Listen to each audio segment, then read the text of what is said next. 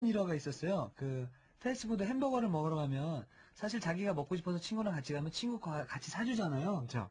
근데 갑자기 저랑 그 준수 씨랑 은혁 씨랑 같이 갔는데 정말 자기가 먹을 햄버거 하나만 딱 사는 거예요. 어, 그럼요. 야 끝이야? 어. 형 각자 먹는 거예요.